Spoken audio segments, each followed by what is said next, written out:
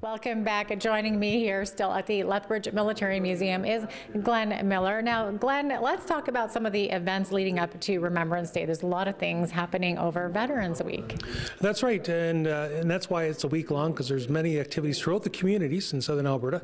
Uh, this Saturday morning, uh, there's a university group that always puts on a pancake breakfast at the Legion, and the value of that is that they also at their generation understand and appreciate veterans and their remembrance. And so the pancake breakfast is always good. I've been there, done that, and be Uh-huh. doing it again. And I believe the funds are going up to Valor Place in Edmonton, right? I believe so. Yes. Yeah. Tell us a little bit about what Valor Place is.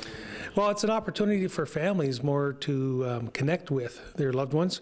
The recovery of the of a veteran can be a variety of lengths, and so Valor Place is an opportunity for them to do that in Edmonton, have that specialty, and then the families can also help in the recovery as well. Yeah, so it's for vets and their families, basically. Yeah, very, very interesting. What else is coming up? I know there's going to be a flyover, right? That's right. Uh, Lethbridge is going to be in a, a treat this uh, next week, actually. Uh, just before Remembrance Day on the 10th, they should expect to see a large shadow come flying over the city. if the 429 City of Lethbridge Squadron arrives during the daylight, it has in years past flown over as a special tribute because of its unique uh, connection uh, with Lethbridge.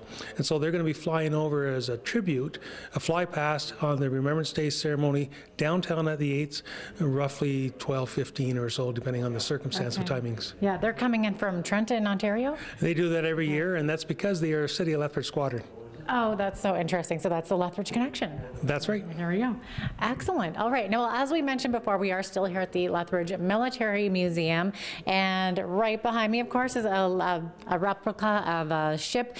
Actually, surrounding us is all kinds of items that have been donated by people, by, by loved ones of, of soldiers and sailors, including um, there's actually a really cool love letter in here that was written by a sailor that was right here on this ship. We have the story for you coming up next.